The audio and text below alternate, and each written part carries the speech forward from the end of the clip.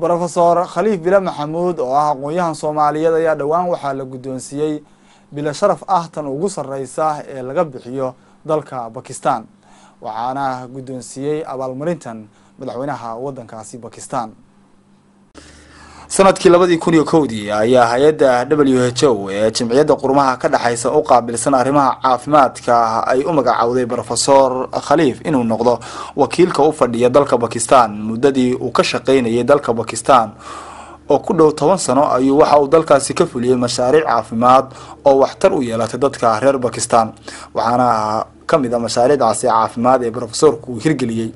Mashruuc caafimaad oo lagu magacaabo marwo oo ay ka faa'iideysteen dumar iyo dadka tabarta yar ee dalkaasi ku nool. Waxaa kaloo dalkaasi uu ka hirgeliyey mashruuc kor u qaadidda baahida aasaasiga ah ee caafimaadka bulshada. Arrintaasi oo marnaba aysan ilaaweyn shacabka reer bakistan waxaa kaloo uu kaalin hogaamineed uu ka qaatay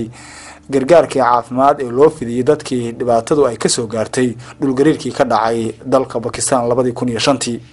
Rofesor khaliif muddadii uu ka shaqaynayay bakistan waxa uu ku guuleystay in bakistan ay noqoto dal aysan ka jirin cudurka dabaysha ama boolyada. Rofesorku waxaa kaloo uu gacan ka geystay wacyigelinta bulshada ee khatarta ay leedahay tubaakada iyo cabidda sigaarka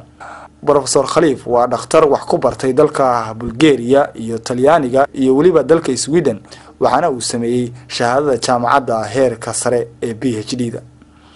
waxa uu ka soo shaqeeyey xilligii dowladii dhexe isbitaalka guud ee degfeer ee magaalada muqdisho jaamacadda ummadda burburkii dowladii kadibna waxa uu ku biiray sannadkii kun sagaal boqol sagaashan iyo saddexdii hay'adda caafimaadka adduunka u qaabilsan ee hu